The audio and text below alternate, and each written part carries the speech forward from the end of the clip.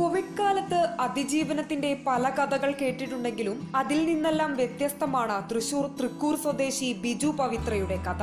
Covid മൂലം ജോലി നഷ്ടമായ ബിജു കോവിഡിനെ തന്നെ തോൽപ്പിക്കാൻ ഇറങ്ങുകയായിരുന്നു.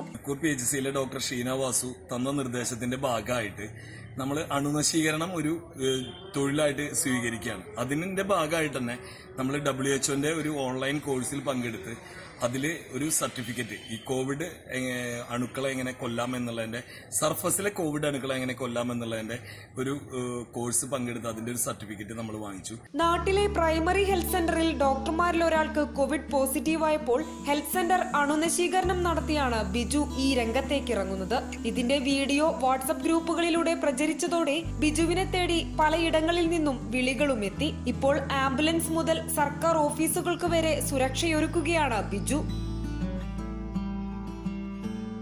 വീടുകളിലും ഓഫീസുകളിലുമെല്ലാം അണുനശീകരണത്തിന് ഉപയോഗിക്കുന്ന സിൽവർ ഹൈഡ്രജൻ പെറോക്സൈഡാണ് സ്പ്രേയിങ്ങിന് ഉപയോഗിക്കുന്ന കെമിക്കൽ. ഒന്ന് മൈക്രോ സ്പ്രേയിലൂടെ ഒരു ഫ്യൂമിഗേഷൻ എന്ന് പറഞ്ഞ ഒരു എന്താ പറയാ ഒരു മഞ്ഞുപാളി പോലെ വീഴുന്ന രീതിയിലാണ് ഒന്ന് ചെയ്യുന്നത്. സാധാരണ മറ്റേത് എങ്ങനെയാണെന്ന് വെച്ചാൽ നമ്മൾ സാധാരണ സ്പ്രേയറോട് കൂടിയാണ് ഉപയോഗിക്കുന്നത്.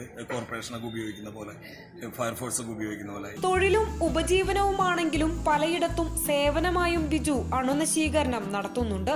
റിപ്പോർട്ടർ തൃശൂർ.